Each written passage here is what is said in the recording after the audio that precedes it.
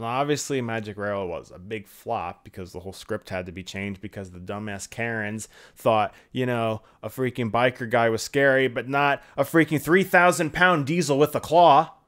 That's not scary, right?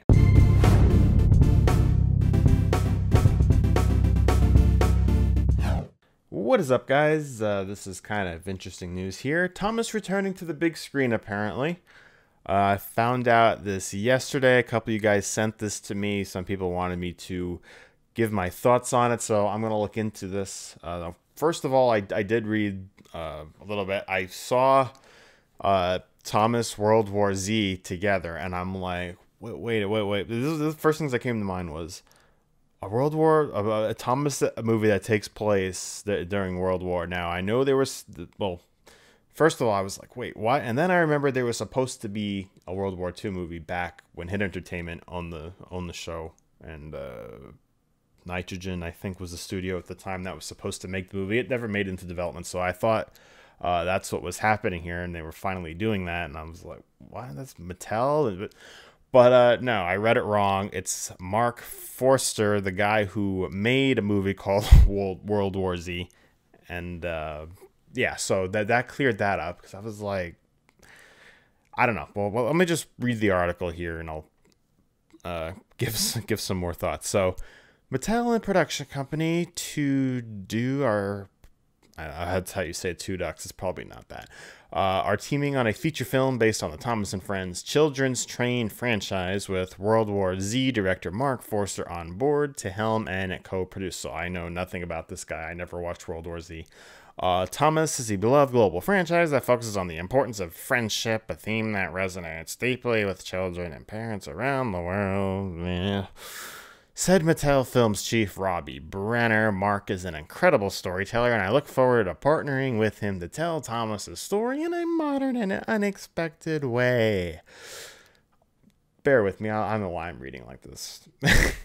the companies which announced the project Tuesday said Thomas and Friends will be a four quadrant family adventure that blends live action and animation. Mattel Films will co produce the film alongside Forster and Renee Wolfe. Wolfe. co-founder and CEO of two. I don't know what the pronounce the company. Uh, Alyssa Hill, A Taste of Power. Don't know what that is. And Jesse Wigutow, I don't know, have written the script. No idea who these people are. Brenner and Kevin McKeon will lead the project for Mattel Films. Thomas and Friends celebrating its 70th, 75th, I can't read, damn it. Celebrating its 75th anniversary this year, introduces children to the world created can't read. Introduces children to the world around them through the wonder and awe of trains. the awe of trains, Awdry. Awe. I'm so funny. Shut up. All right. Uh, Thomas was first created in 1945 by Reverend Awdry and stories for his son Christopher. Tell me something I don't know.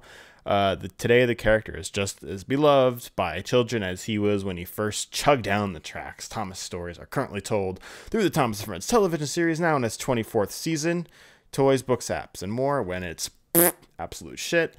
Uh, Thomas has been a personal favorite of mine since childhood, said Forster. I couldn't be more excited to be working with Robbie and the entire team at Mattel and embarking on this beautiful journey with such a timeless property.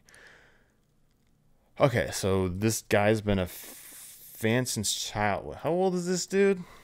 Hold on a second. Just so I make sure, because he better check his facts. This dude's 50 years old, but Thomas was a child. That don't add up.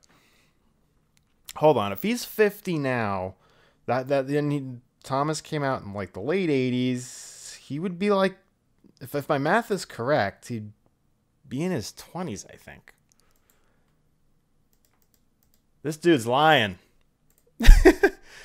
Why you lying? Why? Uh, I find it really hard to believe that Thomas was a part of your childhood, considering you weren't really a child when it came out. Uh huh. I don't believe it. Uh, Thomas and Friends. I mean, yeah, lots of older fans like me, but we've been fans since we were in diapers. Which, if you guys are on my Twitter, I got I found some old photos of me when I was little, uh, playing with my trains and stuff. Check it out if you want to. Um. Anyway, I don't know. I, I just that line just doesn't make any sense. So, um, I don't know. That's really it here. So, like I said, I don't know anything about these people or the team that's writing this. So, um, one thing I can say, it's probably going to be shit because when you're blending live action and CGI, that's just, I mean, I mean, I don't know. I'm being biased here. Obviously, live action and CGI works in movies, but as for Thomas, it's not right because we're all used to Thomas the Magic Railroad uh, as a theatrical film and live action. It just fit better when they were the models, and you can have actual people. It worked.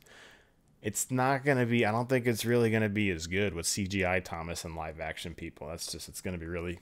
It'll, it'll put things off a little bit, but. So we have no information on what the hell this movie is going to be even about. Um, all we know is that there's a Thomas movie coming. Nobody knows when, you know, what it's going to be about. So, and it's made by Mattel. So obviously they have no plans to sell the rights to Thomas and Friends, which is depressing. Um, and they, well, at least it shows they haven't given up on Thomas, but it's only going to get downhill from here. So, I mean, I'm not going to bash on it yet because it's not, you know, really going to be Mattel itself working on it you know, as they said, they have a team of people here that worked on other movies. So, um, I don't know. We just gotta wait and see. Wait for more information. Um, yeah, I just sure it's cool to see. I mean, I get it's. I mean, as a fan, obviously it's cool to see a theatrical Thomas film again, but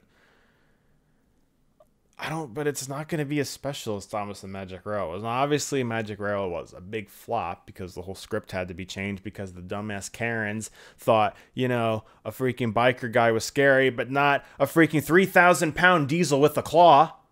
That's not scary, right? It almost threw a guy off a bridge. That's not scary. Who literally was going to kill an engineer driver. That's not scary. I don't know. Uh, I, I don't know. It is what it is, though.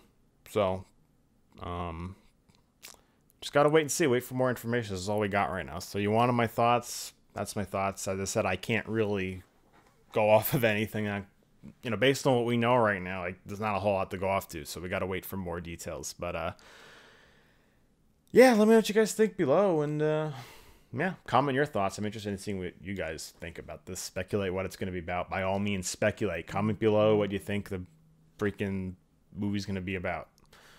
Um, yeah. Anyway, that's all I got. So like and subscribe, turn on the notification bell for each and every upload. If you enjoyed, Twitter, Discord, links are in the description below. We'll see you guys next time. Have a great day. Stay safe out there. Peace out, everybody.